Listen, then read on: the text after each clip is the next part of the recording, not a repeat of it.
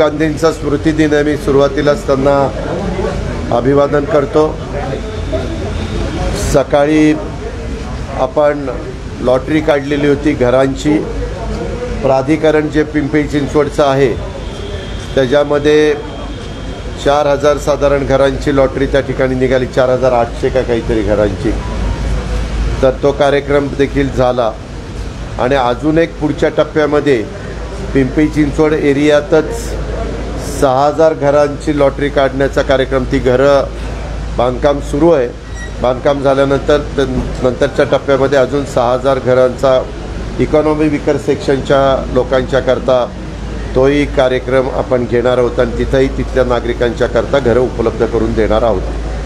साधारण केंद्र सरकारने ठरवलेलं दोन हजार बावीसपर्यंत प्रत्येकाला घर द्यायचं ते तसं बघितलं तर अवघड आहे. पण तरी देखील तिथपर्यंत पोचण्याचा प्रयत्न राज्य सरकार देखील करतं आहे आणि मोठ्या प्रमाणावर वेगवेगळ्या ठिकाणी माडाच्या मार्फत. त्याच्यानंतर स्लमच्या ज्या काही योजना असतात त्या एस आर एच्या मार्फत. तसंच ही प्राधिकरणं जिथं जिथं आहेत तिथं प्राधिकरणाच्या मार्फत अशा प्रकारचा कार्यक्रम आपण हातामध्ये घेतलेला आहे. आणि टप्प्याटप्प्यामध्ये ते पूर्ण होतात तशा आम्ही लोकांना लॉटरीच्या माध्यमातून कुठल्याही प्रकारची वशिलेबाजी त्याच्यामध्ये न राहता पूर्णपणे पारदर्शकतेनं तो कार्यक्रम त्या ठिकाणी चाललेला आहे. तसंच आज करोनाच्या संदर्भातली बैठक देखील जिल्ह्याची आणि दोन्ही शहराची झाली. अनेक लोकप्रतिनिधी त्याला हजर होते. अनेकांनी वेगवेगळ्या प्रकारच्या सूचना केलेल्या आहेत. एक गोष्ट थोडीशी समाधानाची आहे की पॉझिटिव्हची संख्या ही जिल्ह्यामध्ये थोडी थोडी कमी होती आहे आणि डिस्चार्जची संख्या ही बऱ्यापैकी वाढते. त्याच्यामुळे आता सगळीकडं आपल्या जिल्ह्यामध्ये आणि आपल्या दोन्ही शहरामध्ये सर्व प्रकारचे बेड खाजगी हॉस्पिटल असतील कॉर्पोरेशनचे हॉस्पिटल असतील किंवा राज्य सरकारचे हॉस्पिटल असतील इथं सगळीकडे उपलब्ध आहेत. म्हणजे ऑक्सिजन बेडचे पण आहे ऑक्सिजन बेड पण उपलब्ध आहेत व्हेंटिलेटर्स पण उप बेड उपलब्ध आहेत आय सी यू बेड पण उपलब्ध आहेत. पण एक आहे ग्रामीण भागामध्ये अजूनही ते प्रमाण थोडंसं जेवढं आटोक्यात यायला पाहिजे तेवढं आटोक्यात आलेलं नाही आहे आणि त्याकरता बऱ्याच विधायक सूचना आमदार महोदयांनी केलेल्या आहेत. सध्या रेमडेसिवीर ह्या इंजेक्शनचा तुटवडा अजिबात राहिलेला नाही. परंतु टास्क फोर्सनी असं सांगितलेलं आहे की रेमडेसिवीर करोना झालेल्यांना जास्त देण्याचं कारण नाही. त्याच्यात वेगवेगळे मतप्रवाह आहेत. त्याच्या खोलामध्ये मी जास्त जात नाही. तो वैद्यकीय क्षेत्रातल्या मान्यवरांचा तो अधिकार आहे.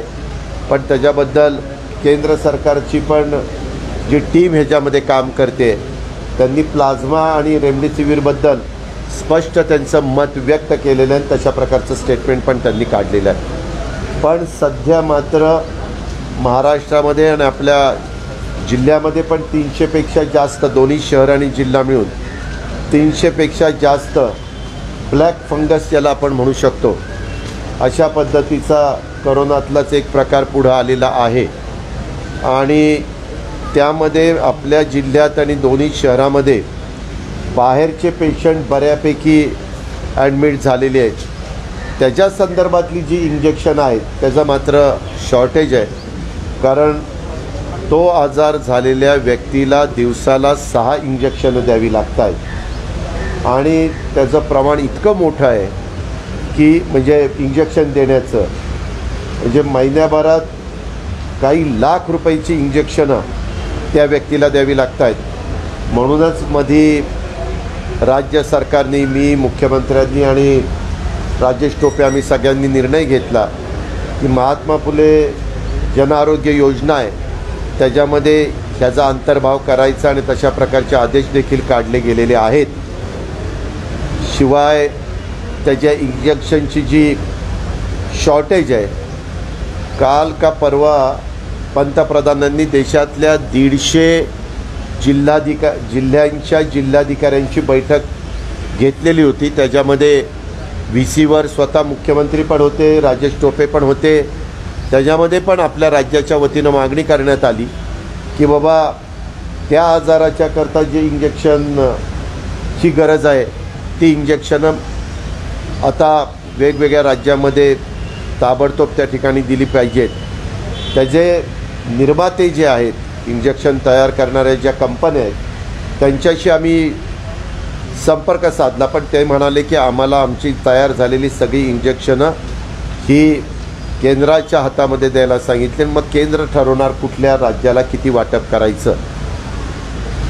आम्ही जसं रेमडेसिवीर हे इंजेक्शन जिल्हाधिकाऱ्यांच्या कडं ते प पुरवठा म्हणजे त्यांनी वाटप करावं असं सांगितलं आणि त्याच्यामध्ये सुसूत्रता आली.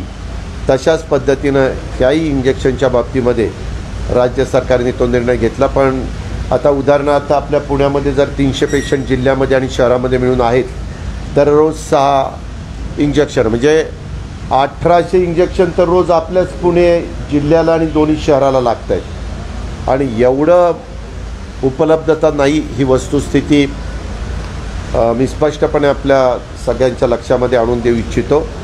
आणि त्याकरता जसं मागं जे काही शॉर्टेज पडत होतं त्या शॉर्टेजचा आपण मार्ग काढला.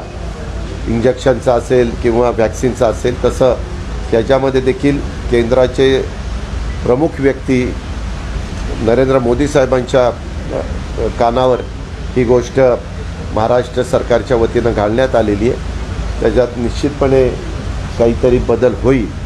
आणि आपली मागणी आहे तशा प्रकारचा पुरवठा सुरू होईल अशी अपेक्षा करायला हरकत नाही. तिसरी लाट जी आहे की आज सहा ते आठ महिने शक्यता जी आहे ती वर्तवण्यात आली आणि ही जुलैपर्यंत दुसरी लाट संपेल. काय तयारी आपल्याकडे दुसऱ्या लाटेच्या संदर्भामध्ये जी काही ऑक्सिजन आता मी मगाशी सांगितलं की सगळ्या सुविधा आपल्याकडं आहे. मध्ये सगळ्या राज्यामध्ये देश जे देशामधल्या पण काही राज्यामध्ये ऑक्सिजनचं जे शॉर्टेज होतं खूप धावपळ होती. रात्री अडीच अडीच वाजेपर्यंत अधिकारी वर्ग आणि सगळेजण काम करत होते. प्रत्येकाला एक धाकधूक होती की आपल्या हॉस्पिटलमध्ये ऑक्सिजन कमी पडला तर आपल्या इथल्या पेशंटचं काय होणार? ही जी भीती होती ती आता पूर्णपणे दूर झालेली आहे. मध्ये पवार साहेबांनी जर काही आव्हान केलेलं होतं तसंच आता काही साखर कारखान्यामध्ये देखील ऑक्सिजन सिलेंडर भरायला सुरुवात झालेली आहे. त्यांचं प्रोडक्शन सुरू झालेलं आहे. उस्मानाबाद जिल्ह्यामध्ये पहिल्यांदा हे सगळं काम तिथले देशमुख म्हणून आहेत त्यांनी त्या ठिकाणी सुरू केलेलं आहे.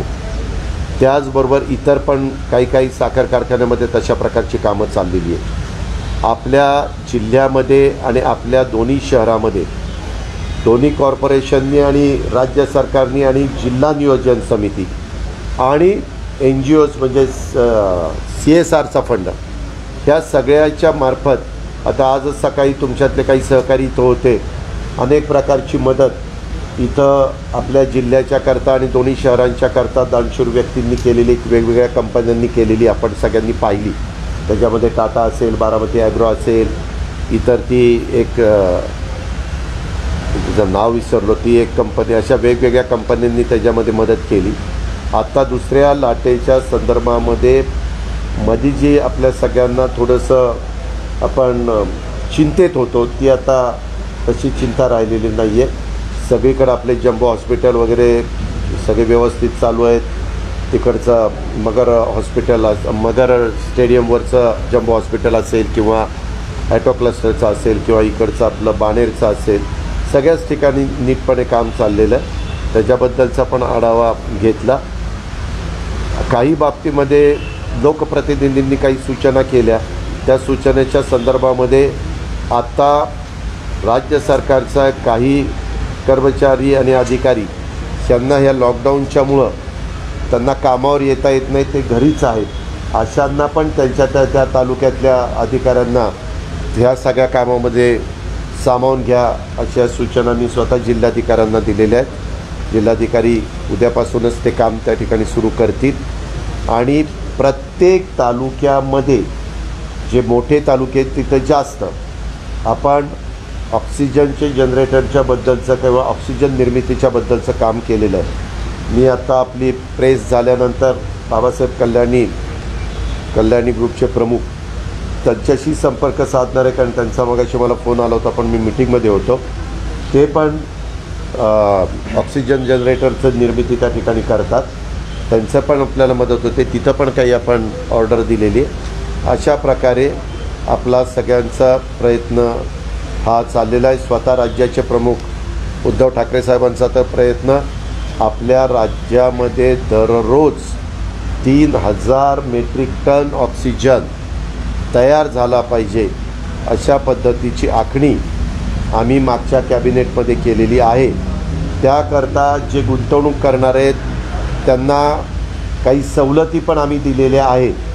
काही ठिकाणी दुर्गम भागात समजा थोडेसे दूरवरचे जे जिल्हे आहेत उदाहरणार्थ गडचिरोली चंद्रपूर नंदुरबार अशा भागामध्ये धुळे अशा भागामध्ये जर ऑक्सिजन निर्माण करणारे इन्व्हेस्टमेंट कर निर्मितीच्या करता इन्व्हेस्टमेंट करणारे उद्योगपती जर जायला काकू करत असतील तर त्यांना तिथं वेळ पडली तर व्ही जी एफ गॅप जी असते ती पण त्या ठिकाणी द्यायचं ठरलेलं आहे.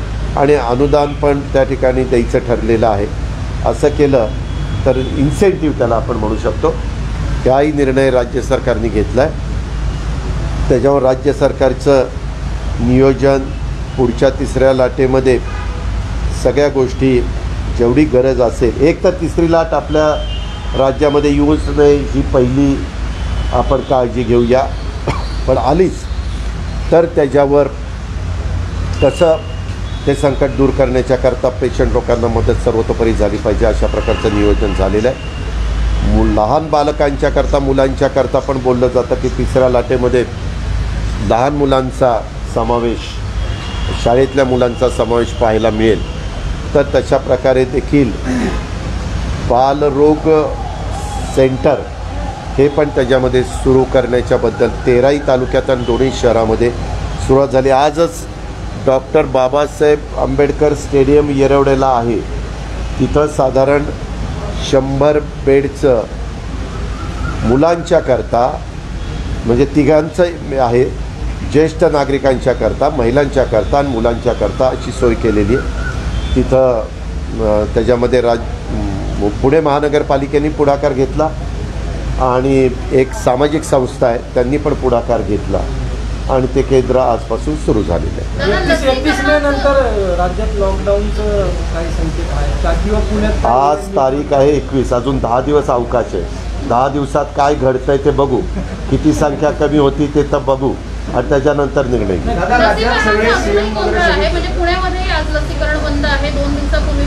लसीकरण लसीकरणाचा पुरवठा जेवढा व्हायला पाहिजे देशाची लोकसंख्येचा विचार करता राज्याचा विचार करता हे गोष्ट त्रिवार सत्य आहे. संपूर्ण देशात सर्वात जास्त लसीकरण महाराष्ट्रात झालं आहे आणि महाराष्ट्रात सर्वात जास्त लसीकरण पुणे जिल्ह्यामध्ये झालेलं आहे.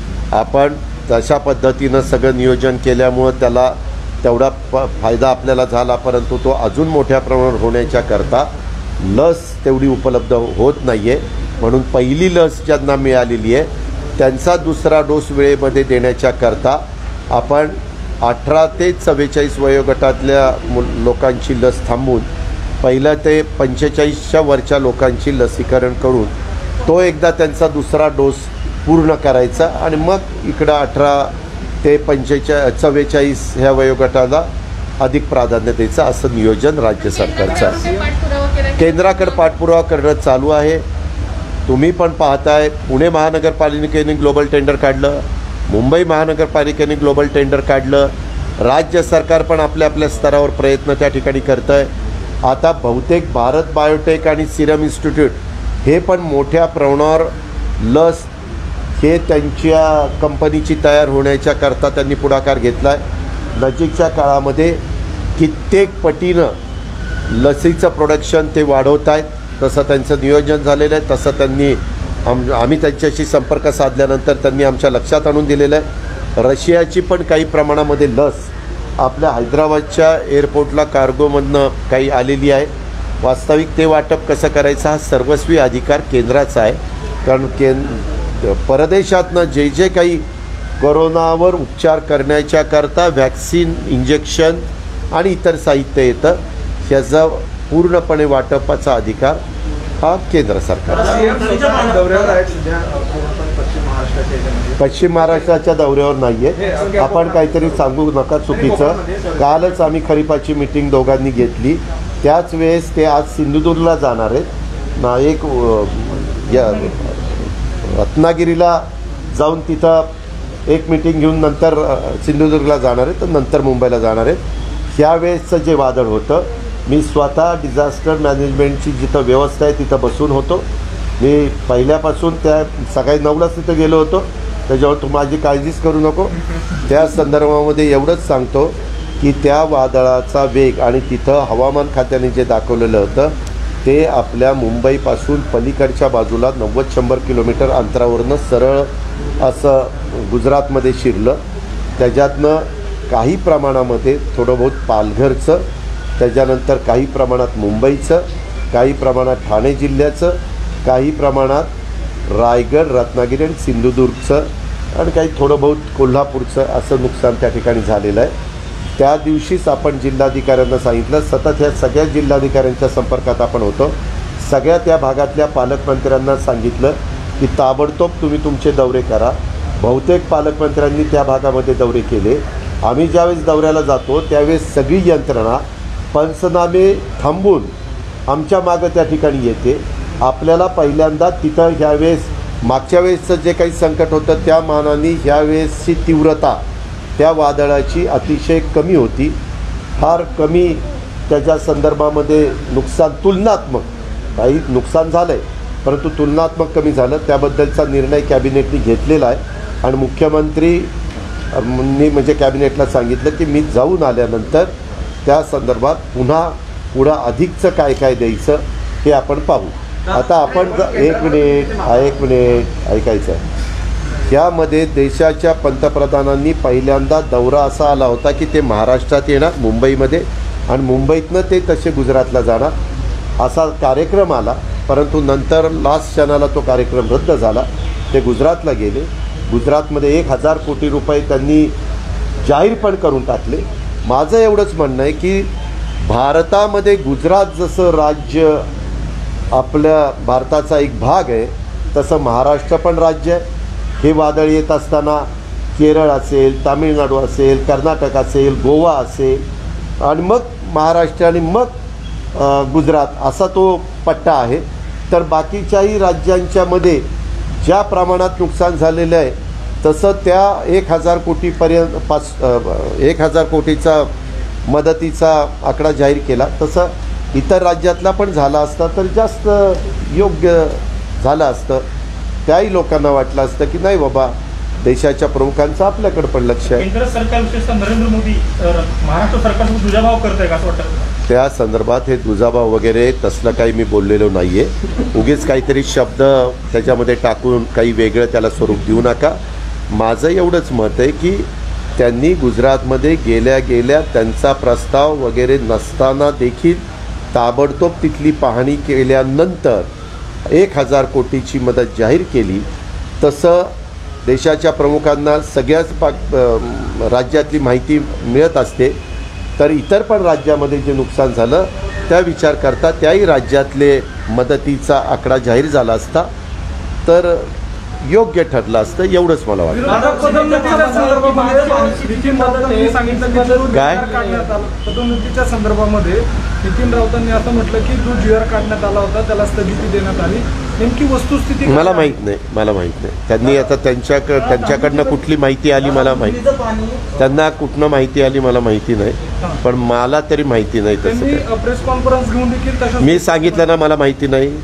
त्यांनी सांगितल्यानंतर आता मी परत काय बोलू? मला त्याच्याबद्दलची अधिकची माहिती नाही आहे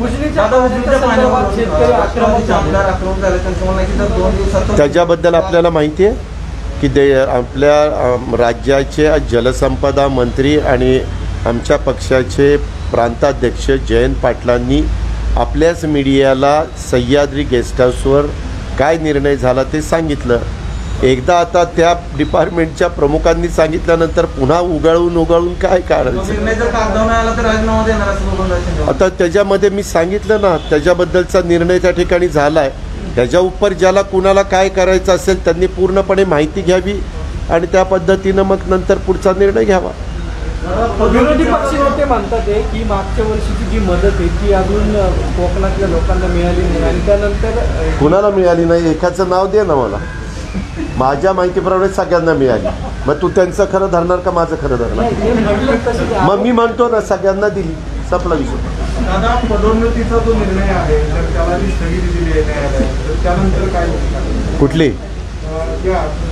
पदोन्नतीमध्ये जे तुम्हाला एक माहिती आहे?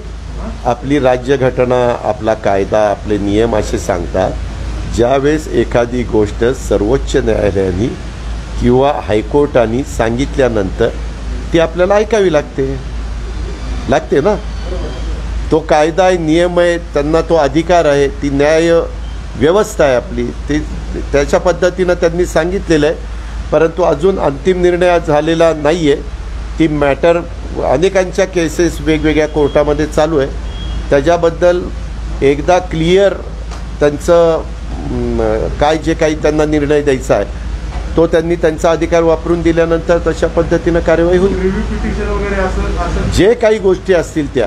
कारण ह्याच्यामध्ये दोघां सर्वांना खरं तर अतिशय निर्णय घेत असताना कुठल्याही घटकावर अन्याय होणार नाही अशा प्रकारची खबरदारी केंद्रामध्ये कुणी असलेलं सरकार किंवा राज्यामध्ये कुणी असलेलं सरकार ह्या प्रत्येकाला तसंच वाटत असतं.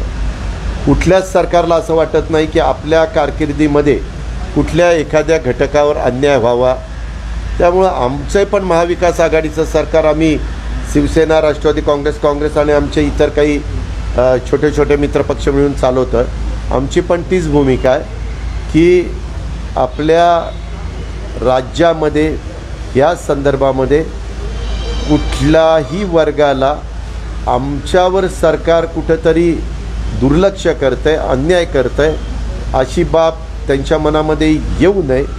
ह्याचबद्दलची काळजी आम्ही वेळोवेळी घेत असतो. परंतु एखादी मॅटर पुणे हायकोर्टात किंवा सुप्रीम कोर्टात नेली तर मग मात्र हायकोर्टाने सुप्रीम कोर्टाने दिलेल्या निर्णयाचा आदर हा साहजिकच त्या त्या सरकारला करावा लागतो. जर तो काही त्यांचं वेगळं मत असेल तर एखाद्या कोर्टाने दिलेल्या निर्णयाबद्दल बेंचच्या पुढं तुम्हाला जाता येतं. कधी पाच बेंचच्या पुढं जाता येतं सात बेंचच्या पुढं जाता येतं. अशाही प्रकारच्या घटना मागं देश पातळीवर राज्याच्या पातळीवर घडलेल्या आहेत. पुण्यातला विकेट लॉकडाऊन कमी करण्यात काय किंवा आजचा काय निर्णय झालाय काय आता सध्या काही निर्णय झालेला नाही. जसं चाललंय तसं चालू आहे. तुम्ही पण फिजिकल डिस्टन्स ठेवा मास्क वापरा. उलट मुंबईला तर आता डबल डबल मास्क वापरायला सुरुवात केलेली आहे. जे नाईन्टी फाईव्हचं मास्क वापरतात तुझ्या माझ्यासारखं त्यांचं ठीक आहे. पण जे कापडी मास्क वापरतात त्यांनी डबल मास्क वापरलं पाहिजे आणि स्वतःच्या जीवाची काळजी घेतली पाहिजे. असं मी वैद्यकीय क्षेत्रातल्या मान्यवरांनी जो सल्ला दिलेला आहे ते ऐकून तुम्हाला सांगतो. सारथीच्या संदर्भामध्ये आपण मागे मदत केली होती आणि त्या पार्श्वभूमीवरून तीच संभाजीराजे यांनी नाशिकला प्रेस घेतली. त्यामध्ये असं म्हटलं की काही पुढे होत नाहीये. तर ते शाहू महाराजांचं जे नाव दिलं ते काढून टाका असं त्यांनी अगदी आक्रमकपणे म्हटलं त्यांना कोण त्यांना मत व्यक्त प्रत्येकाला तुमच्या सकट सगळ्यांना मत व्यक्त करण्याचा अधिकार आहे. त्याबद्दल मला काही बोलायचं नाही. परंतु सारथीला जागा नव्हती. शिक्षण विभागाची तिथं एक एकर जागा ही सारथीच्याकडं आता वर्ग करण्यात आली. तिथला प्लॅन तयार करण्यात आला. त्याच्याकरता बजेटमध्ये तरतूद करण्यात आली. आता तिथलं बांधकाम त्या ठिकाणी सुरू होईल. त्याचबरोबर जलसंपदा विभागाची जागा पतंगराव कदम साहेबांचा बंगला आहे तिकडं म्हणजे बी एम सी सी कॉलेजच्या समोर. तिथं पण काही जागा ही काही कामाच्या करता तिथं मागितलेली आहे. आणि माझी जर त्यांची भेट झाली तर मागं काय होतं आणि माझ्यावर जबाबदारी आल्यानंतर मी काय काय त्या बाबतीमध्ये घे केलेलं आहे. तिथं अजित निंबाळकर उमाकांत दांगट कोकाटे हे सगळे सिनियर लोक ज्यांनी प्रशासनामध्ये अनेक वर्ष काम केलं आहे आणि त्यांचा नावलौकिक पण प्रशासनातला चांगला होता अशा सगळ्यांची तिथं कमिटी केलेली आहे. ते पण तिथं काम करतायत. काकडे म्हणून एक अधिकारी आहेत ते पण तिथं काम करतायत. असं काम चालू आहे. दिली बाबा दिली दिली. हायकोर्टाने पण सांगितलं आणि ती देताना जे बातम्या आल्या की अजित पवारांनी नागपूरला मिहान प्रकल्पात होत होणारा प्रकल्प इकडं आणला तसं काही झालेलं नाही आहे हायकोर्टाच्या आदेशाचे आपण अतिशय व्यवस्थितपणे मान राखला तर आदर केला आणि ती जागा देण्याचं काम केलेलं आहे.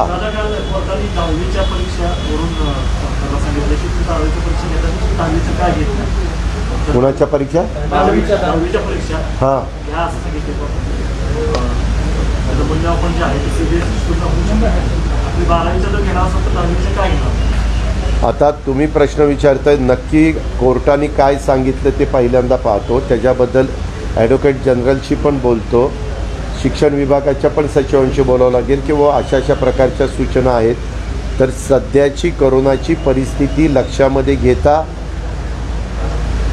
न्यायालयाचा पण कुठं कंटेम्प ऑफ कोर्ट होता कामा नये. आणि पालकांना पण कुठं काही काळजी विद्यार्थ्यांच्या बाबतीमध्ये वाटता कामा नये अशा प्रकारचा विचार त्या ठिकाणी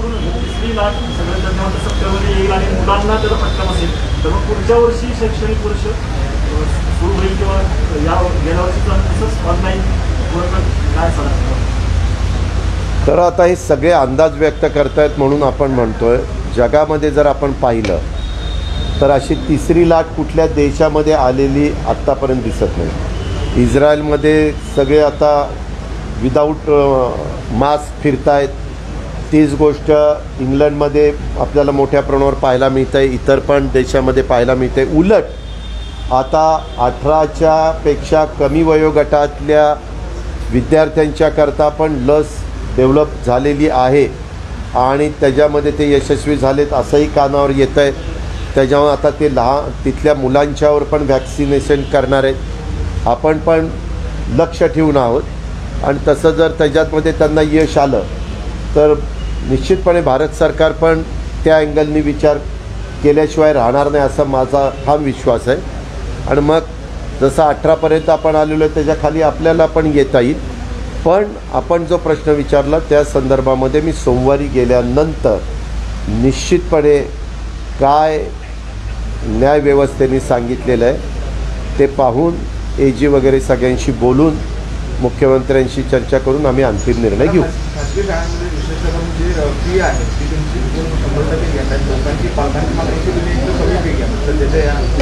हो त्याच्याबद्द त्याच्याबद्दल राज्य सरकार श्री शिक्षण विभागाने निश्चितपणे काही निर्णय घेतलेले आहेत. आणि कुठं शाळा चालू नसताना अशा प्रकारची शंभर टक्के फी घेणं हे पूर्णपणे पालकांच्यावर आणि विद्यार्थ्यांच्यावर अन्यायकारक आहे. ठीक आहे. शिक्षण संस्थांची पण अडचण हे आम्हाला कळते. परंतु अडचण जरी असली तरी त्यांची अडचण आहे म्हणून त्या विद्यार्थ्यांची किंवा त्यांच्या पालकांची अडचण करण्याचा अधिकार त्यांना कोणी दिलेला नाही आहे त्या संदर्भामध्ये समन्वयाच्या भूमिकेतनं मार्ग काढण्याचा प्रयत्न राज्य सरकार करेल. पुण्यात लॉकडाऊन असतानाही पुण्यात पुन्हा एकदा हत्या झाली आणि त्यानंतर त्याच्या अंत्ययात्रेला मोठ्या प्रमाणात गर्दी जमली होती. त्याच्यानंतर पुढं कारवाई झालेली आपल्याला लक्षात आली? आणि त्याच्यामध्ये जिथं कुठं ज्या पोलीस स्टेशनच्या हद्दीत ते घडलं तिथल्या पोलिसांच्यावर पण कारवाई केली ते पण आपल्या लक्षात आलं असेल. आता जर ज्यांच्यावर जबाबदारी होती त्यांच्यावरही कारवाई केली. ज्या मोटरसायकलचे नंबर होते त्यांच्यावरही कारवाई केली. म्हणजे तिथं कुठंही कुणालाही पाठीशी घातलेलं नाही आहे आणि कदाचित आता ह्याच्यातनं एक मेसेज जाईल की बाबा असं करणं उचित नाही आहे नियमाला धरून नाही आहे कायद्याला धरून नाही आहे त्याच्यावर काही बदल होईल असं वाटतं.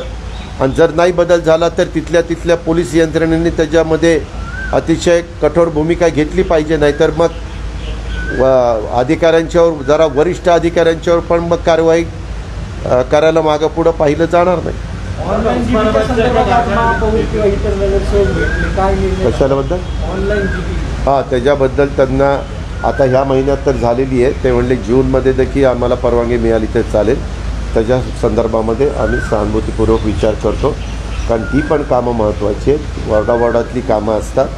त्या निमित्तानं काय चाललं आहे कसं चाललं आहे काय चुका होत आहेत का काय बरोबर आहे हे सगळं तिथं मांडता येतं आणि त्याच्यामुळं त्यांची जी मागणी आहे ती वैयक्तिक मला योग्य वाटलेली आहे.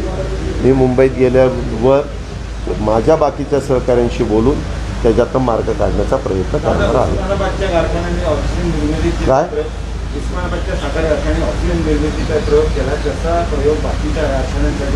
पंचवीस तीस कारखान्यांनी तसं काय त्या एक तर त्या कारखान्यांची आर्थिक परिस्थिती चांगली पाहिजे. कारण बरेच कारखाने एफ आर पी पण देऊ शकत नाही हे आपल्या कानावर आलं असेल. त्याच्यावर ज्यांची परिस्थिती चांगली आहे त्याच्यातल्या पंचवीस तीस कारखान्यांनी अशा प्रकारचा प्रतिसाद दिलेला आहे. त्यांची कामं चाललेली आहेत. लवकरच ती कामं पूर्ण झाल्यानंतर ते चित्र ते कुठल्या कुठल्या कारखान्यांनी ऑक्सिजनचे सिलेंडर भरण्याच्या करता किंवा ऑक्सिजन निर्मितीच्या करता पुढाकार घेतला हे सगळे चित्र येईल.